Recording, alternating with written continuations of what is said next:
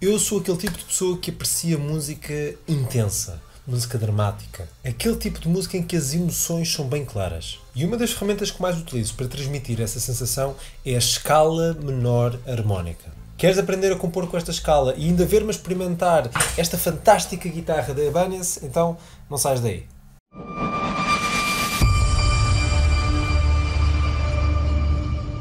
Olá a todos, o meu nome é Guilherme Franco e seja muito bem-vindo ao canal da Gitana. Antes de continuarmos, já sabem, não se esqueçam daquele like que nos aquece tanto o coração e subscrevam o canal porque vêm aí muitas novidades. Na série Teoria Musical nós falámos sobre a escala maior e sobre a escala menor natural. Bem, a escala menor harmónica é como se fosse uma alteração ou uma variação que nós fazemos à escala menor natural. Há apenas ali meio tom de diferença numa das notas entre as duas escalas.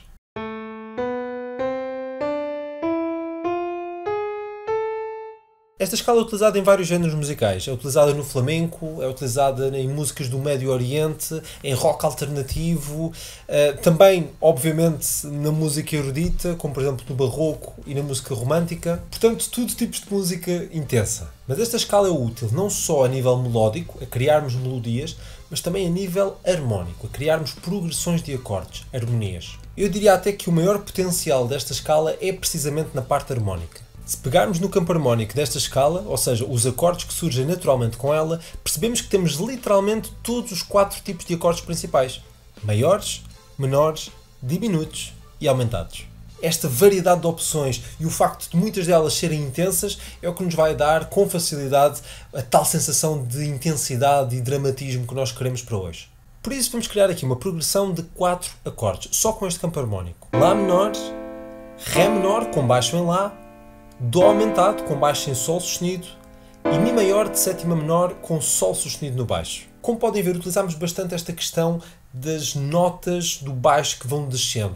Nós chamamos isto um baixo descendente, que é para criar algo um bocadinho mais melódico naquilo que é de facto a harmonia. Utilizamos dois acordes menores para estabelecer a base da tonalidade e também o caminho ou a emoção base da música. E claro, utilizamos acordes tensos. Utilizámos um acorde aumentado e um acorde maior de sétima menor, que traz sempre uma sonoridade diminuta por trás, já que se trata de um acorde dominante. E algo interessante é que esta progressão de acordes funciona muito bem em forma de loop, ou seja, se nós quisermos podemos fazer a música toda à volta disto, não sair destes acordes, Claro, apenas mudar, por exemplo, o arranjo de instrumentos a meio da música para tornar as coisas mais interessantes, ou então, claro, podemos abandonar a progressão de acordes a meio e trazer uma nova progressão. Mas de qualquer das formas, isto funciona como loop se nós quisermos. E agora vamos escolher os instrumentos. Eu vou utilizar este teclado aqui, o Go Keys 3 da Roland. É um teclado MIDI, mas que também tem sons próprios muito interessantes. Vou utilizá-lo para criar uma base orquestral, fazer alguma coisa com uns violinos, uns violoncelos, coisas do género vou procurar arranjá-los de uma forma intensa e dramática, tal como nós procuramos. Mas também vou utilizar este teclado aqui para criar um baixo e uma bateria, que vai ser importantíssimo para dar peso à música. E claro, para quem estiver interessado, o link para o teclado está na descrição, como sempre, e se clicarem cá em cima vocês podem ver uma review completa do instrumento. De seguida, depois desta base estar criada, vou juntar duas linhas de guitarra. A primeira linha vai ser de acompanhamento, em que vou fazer aqui alguns acordes, uma coisa um bocadinho mais rítmica, e depois um solo de guitarra para ser a voz principal da música. E lá está. Nesse caso, vou utilizar a nossa guitarra da Ibanez. E claro, para os guitarristas, o link está na descrição para vocês adquirirem esta guitarra que é fantástica. E este é o resultado.